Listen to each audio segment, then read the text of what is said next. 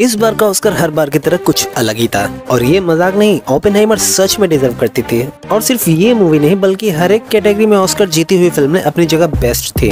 But एक category ने मुझे सबसे ज़्यादा सरप्राइज़ कर दिया लिटरली और वो कैटेगरी थी बेस्ट विजुअल इफेक्ट्स की। यहाँ पे गॉडजिला माइनस वन बाजी मार गई। अब यहाँ मेरे सरप्राइज़ होने का ये मतलब नहीं कि मैं ऑस्कर के इस डिसीज़न से डिसएग्री करता हूँ, क्योंकि ये मूवी उतनी ही ऑस्कर डिजर्व करती थी, जितना की जॉन सिन्हा का न्यूड सीन ऑस्कर डिजर्व करता है। ये मज़ाक नहीं दोनों ने लोगों का ध्यान खींचा है और बताया है कि कम खर्चे में अच्छे मटेरियल को ऑडियंस के सामने कैसे रखा जाए। इसके सामने द क्रिएटर और गार्जियन ऑफ़ गैलेक्सीज जैसे टॉप क्लास विजुअल इफेक्ट्स वाली मूवीज़ थी और बेशक उनके सामने गॉडजिला माइनस वन के इफेक्ट्स टॉप नॉच नहीं थे बट एक 200 मिलियन बजट वाली फ़िल्म और 15 मिलियन बजट वाली फ़िल्म में ज़मीन आसमान का फ़र्क होता है। इवन इंडिया के आदि पुरुष भी शायद इससे ज़्यादा बजट में बनी थी। और तो और ये हॉलीवुड से भी बिलोंग नहीं करती। इस जैपनीज फ़िल्म में कुछ तो खास बात थी जिसने लोगों को बिना चूतिया बनाए ऑस्कर लेवल के विजुअल इफेक्ट्स दिए और at the end of the day जीत के भी दिखाया। सच कहूँ तो मैं इसके ऑस्कर जीतने से काफ़ी खुश हूँ। एटलीस्ट ये बायस्ड नहीं लगता, जो कि हाइप बनाने के लिए एक पॉपुलर फ़िल्म को ऐसे स्टेचू दे दिया जाए।